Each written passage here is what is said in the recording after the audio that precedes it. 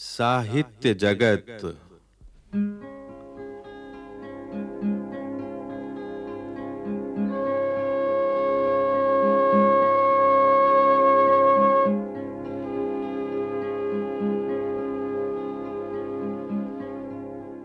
राष्ट्रीय शैक्षिक अनुसंधान और प्रशिक्षण परिषद के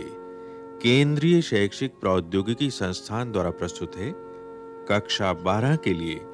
विश्वनाथ त्रिपाठी द्वारा लिखित ऐच्छिक हिंदी की पाठ्य पुस्तक हिंदी साहित्य का इतिहास सामान्य परिचय में संकलित पाठों पर आधारित श्रृंखला साहित्य जगत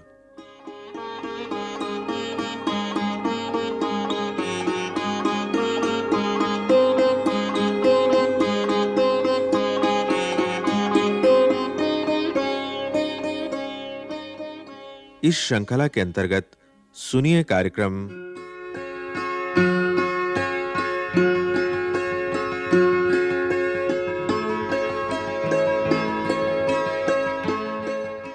आधुनिक काल के अंतर्गत गांधी युग में कहानी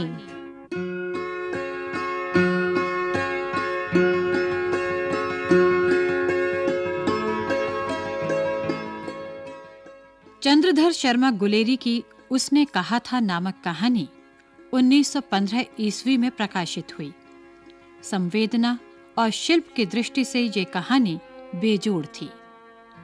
1916 में प्रेमचंद की कहानी पंच परमेश्वर प्रकाशित हुई इस कहानी को अभूतपूर्व लोकप्रियता प्राप्त हुई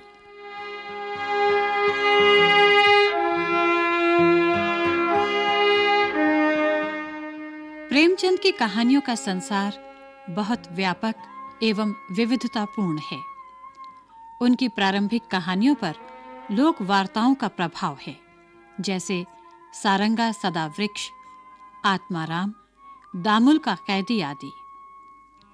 दामुल का कैदी में तो कथानक गढ़ने में पुनर्जन्म का भी सहारा लिया गया है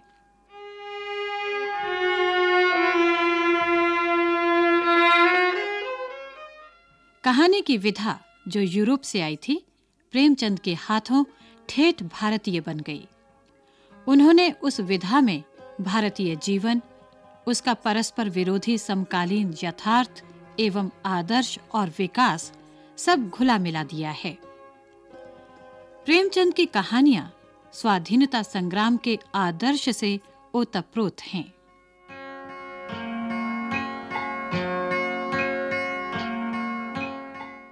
प्रेमचंद की कहानियों में नारी विविध रूपों में आती है इस दृष्टि से उनकी बूढ़ी काकी कहानी अनुपम है जो असहाय और हास्यास्पद है उनकी मानसिकता को समझना महान रचनाकारों के ही बस की बात होती है प्रेमचंद की कहानियों को पढ़ने वाला जानता है कि उनकी कहानियों में बच्चों को कितना स्थान मिला है वे बच्चों की मानसिकता को कितना समझते हैं ईदगाह और रामलीला कहानियां बाल मनोविज्ञान की उत्कृष्ट कहानियां हैं बूढ़ी काकी में उपेक्षिता बूढ़ी काकी की खोज खबर अंततः छोटी बच्ची ही लेती है बुढ़े और बच्चे ही नहीं पशु पक्षियों को भी प्रेमचंद की कहानियों में अद्भुत आत्मीयता दी गई है दो बैलों की कथा के हीरा मोती पूस की रात का झबरा कुत्ता आत्माराम का तोता हिंदी पाठकों के हृदय में घर कर गए हैं दो बैलों की कथा तो पराधीनता के विरुद्ध संघर्ष की प्रतीकात्मक कहानी ही है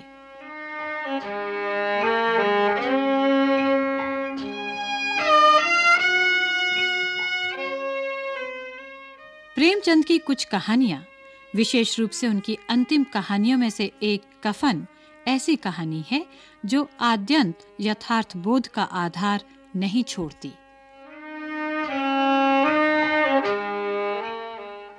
प्रेमचंद के समकालीन प्रसिद्ध छायावादी कवि प्रसाद ने रोमानी सामाजिक और चरित्र प्रधान कहानियां लिखी हैं पुरस्कार आकाशदीप मधुआ गुंडा उनकी प्रसिद्ध कहानियां हैं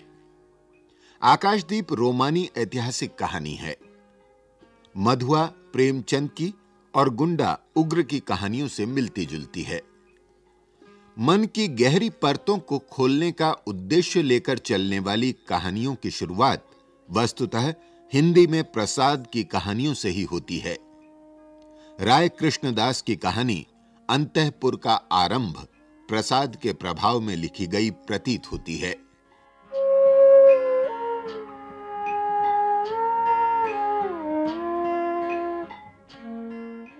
प्रेमचंद के समकालीन कहानीकारों में विश्वंबर नाथ शर्मा कौशिक और सुदर्शन सामाजिक एवं पारिवारिक विषयों पर कहानियां लिखते थे विश्वंबर नाथ शर्मा कौशिक की कहानी ताई और सुदर्शन की हार की जीत बहुत प्रसिद्ध हुई ये आदर्शवादी ढर्रे की ही कहानियां हैं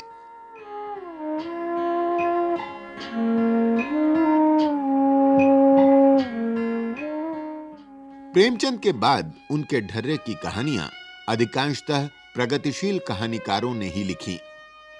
जिनमें यशपाल राहुल सांकृत्यायन उपेंद्रनाथ अश्क अमृत राय रमा प्रसाद घिल्डियाल पहाड़ी आदि उल्लेखनीय हैं यशपाल प्रेमचंदोत्तर हिंदी कहानीकारों में प्रमुख हैं उनकी पहली कहानी मकरील 1934 ईस्वी में छपी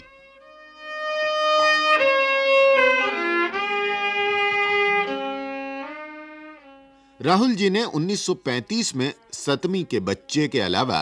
1942 में वोल्गा से गंगा लिखी जो इतिहास के विभिन्न युगों को चित्रित करने वाली कहानियों का संग्रह है इससे पूरा मानव इतिहास आंखों के सामने आ जाता है भगवत शरण उपाध्याय का कहानी संग्रह भी इसी प्रकार का है अश्क उर्दू से हिंदी में आए उनका पहला कहानी संग्रह जुदाई की शाम का गीत 1933 ईस्वी में छपा था डाची 1937 ईस्वी में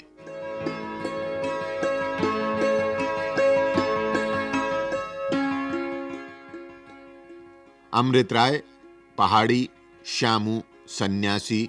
भैरव प्रसाद गुप्त आदि ने इसी समय लिखना शुरू किया और स्वतंत्रता के बाद भी लिखते रहे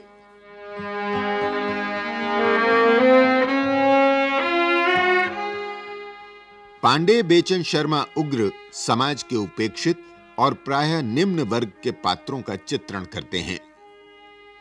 उग्र व्यंग के माध्यम से सामाजिक भ्रष्टाचार के अनेक रूपों को उभारते हैं लेकिन कुल मिलाकर उनके व्यंग्य में करुणा अंतर्निहित होती है निसंदेह अपने परिवेश की गहरी पहचान उग्र की कहानियों में मिलती है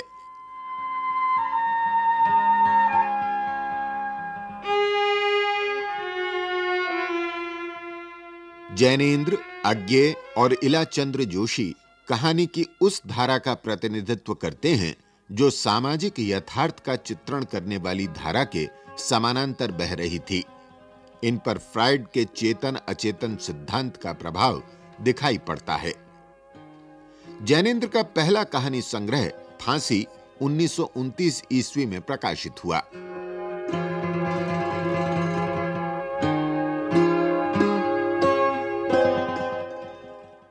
अज्ञे ने आतंकवादी पात्रों के अतिरिक्त विदेशी वातावरण की कहानियां भी लिखी हैं उनकी प्रारंभिक कहानियों का संग्रह विपथगा 1937 ईस्वी में निकला था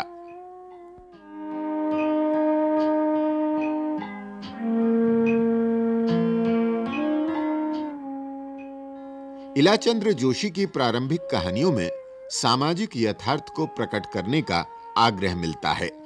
किंतु सन 35-36 तक उन पर फ्राइड के मनोविश्लेषण का गहरा असर पड़ गया उनके कुछ कहानी संग्रह इस प्रकार हैं धूप रेखा दिवाली और होली आहुति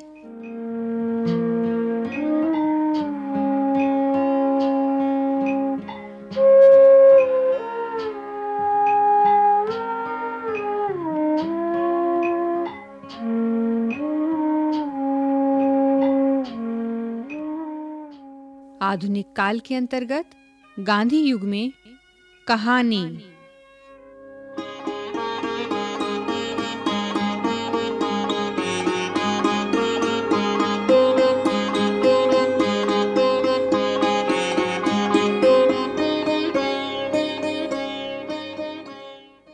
साहित्य जगत के अंतर्गत अभी आप सुन रहे थे ये कार्यक्रम विशेष संयोजन डॉक्टर संध्या सिंह डॉक्टर चंद्रा सदायत एवं लालचंद राम आलेख विश्वनाथ त्रिपाठी वाचन स्वर अखिल मित्तल और लोचनी अस्थाना कार्यकारी निर्माण प्रभुदयाल खट्टर ध्वनियांकन सतीश लाडे और दीपक पांडे निर्माण सहयोग दाऊदयाल चतुर्वेदी तथा निर्माण एवं प्रस्तुति वंदना अरिमर्दन